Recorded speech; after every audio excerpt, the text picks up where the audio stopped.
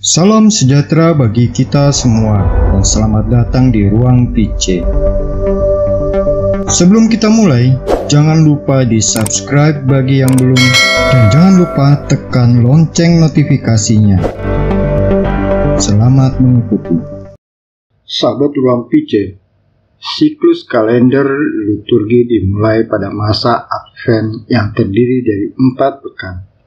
Kata Advent artinya kedatangan yang berasal dari kata Latin Adventus. Masa Advent berarti masa penantian atau untuk menunggu kedatangan Tuhan Yesus ke dunia untuk pertama kalinya melalui peristiwa Natal. Pada mulanya di Perancis, Advent adalah masa persiapan menyambut Hari Raya Epifani atau Hari Raya Penampakan Tuhan dengan peristiwa kedatangan tiga raja dari timur. Pada masa itu juga para katekumen akan dibaptis, mirip dengan masa Prapaskah. Pada tahun 380 sampai dengan 381 di Spanyol, konsili lokal Saragossa menetapkan tiga minggu masa puasa sebelum Epifani yang diilhami oleh peraturan Prapaskah.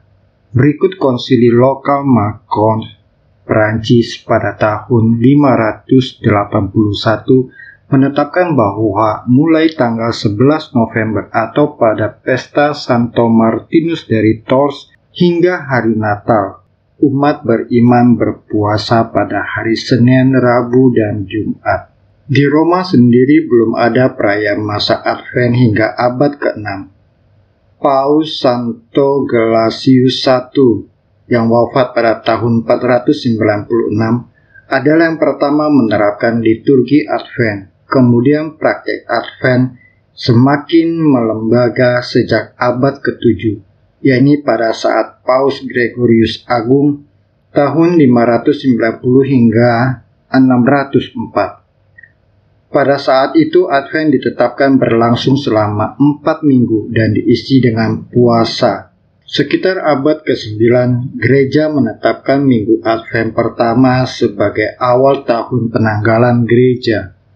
Tradisi perayaan Advent dalam gereja Katolik biasanya melakukan ibadat sabda bersama dan kemudian mulailah diciptakan simbol-simbol yang disebut dengan korona Advent atau lingkaran Advent. Tradisi ini berasal dari Eropa Utara, khususnya negara-negara Skandinavia. Corona Advent berbentuk lingkaran yang bermakna keabadian, sebuah garis tak berujung yang melingkar. Lingkaran ini melambangkan Tuhan yang abadi.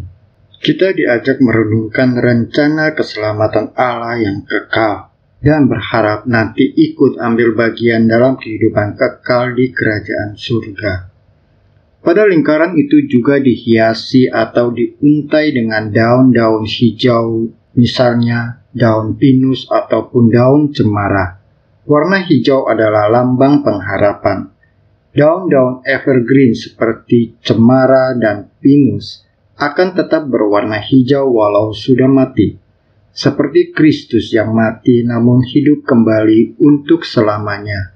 Daun evergreen juga melambangkan keabadian jiwa kita, ungkapan pengharapan yang tanpa akhir bagi kita, yaitu Kristus yang akan datang ke dunia untuk memberikan kehidupan yang abadi. Di atas lingkaran yang dibungkus dengan daun evergreen dipasang juga empat lilin, tiga berwarna ungu dan satu berwarna merah muda atau warna ungu muda. Lilin adalah simbol terang, dan terang merupakan lambang Kristus yang datang ke dalam dunia.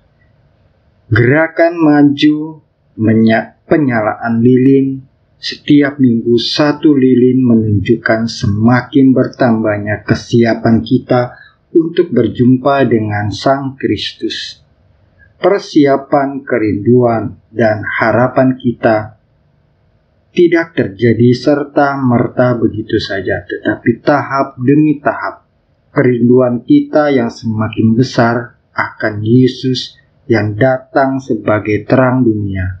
Dilambangkan dengan lilin menyala satu demi satu. Penyalaan lilin secara bertahap ini merupakan juga pengaruh oleh tradisi Yahudi, khususnya pentabisan bait Allah atau Hanukkah. Jumlah lilin ada empat batang mengungkapkan lama masa Advent, yaitu empat minggu.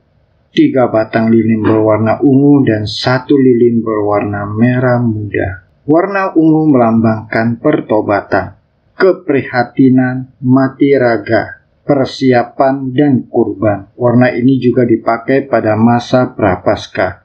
Tidak hanya untuk warna lilin, tetapi juga pakaian liturgi lain pada Advent. Pada Advent juga berwarna ungu. Advent minggu ketiga atau disebut juga Minggu Gaudate berwarna merah muda melambangkan saat kita bersuka cita karena persiapan kita sekarang sudah mendekati akhir, yaitu kedatangan Tuhan sudah dekat.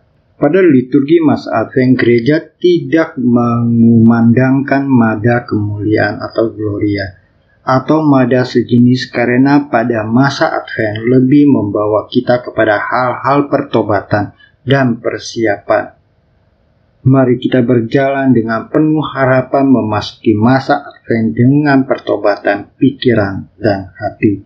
Semoga kerinduan kita dilayakkan untuk menyambut bayi Yesus di palungan. Katekismus Gereja Katolik nomor 524 Dalam perayaan liturgi Advent, gereja menghidupkan lagi penantian akan Mesias. Dengan demikian, umat beriman mengambil bagian dalam persiapan yang lama menjelang kedatangan pertama penebus dan membaharui di dalamnya kerinduan akan kedatangannya yang kedua dengan merayakan kelahiran dan mati syahid sang perintis. Gereja menyatukan diri dengan kerinduannya.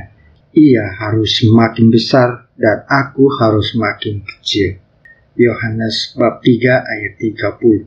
Selamat memasuki masa Advent. Tuhan memberkati. Sahabat Ruang PC, demikian episode kali ini.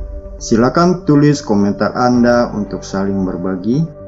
Kasih like bila Anda suka, bagikan ke teman-teman, keluarga, atau media sosial Anda supaya bisa memberi inspirasi subscribe atau tekan tombol loncengnya supaya Anda selalu mendapat pemberitahuan setiap ada video baru. Tuhan memberkati. Non scole set vita discimus.